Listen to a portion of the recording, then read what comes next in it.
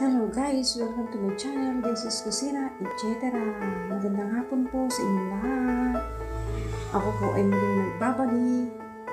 Ah, by the way po, um, matagal na po akong, matagal-tagal na rin po akong nahinto sa pag-vlog.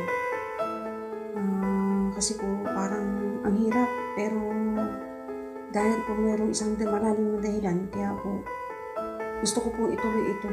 Ito po ay para po makatulong sa ating kapwa na nangangailangan ng malaki pong tulong ninyo para po matuktungan ang kanyang buhay na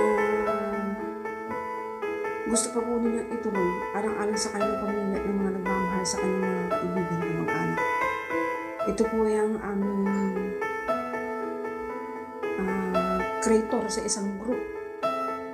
Ang pangalan po ng group na ito is Happy Heart ito po eh, may 3 years ago na po yata. Ah, sa panahon po ngayon na ano, yung pong group namin na yun, eh, hindi na po naging active. Kasi po, marami na po naging problema, hindi na po naasikaso. Sandalit sabi po napabayaan ng group.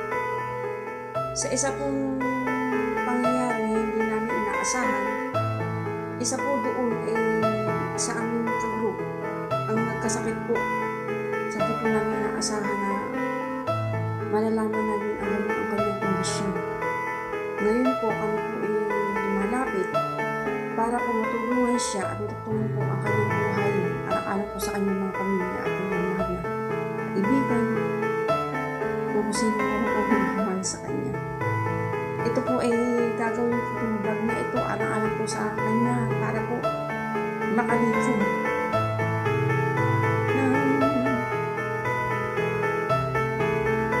ng pampagamot po niya at para po sa pandialysis, para po sa kidney transplant.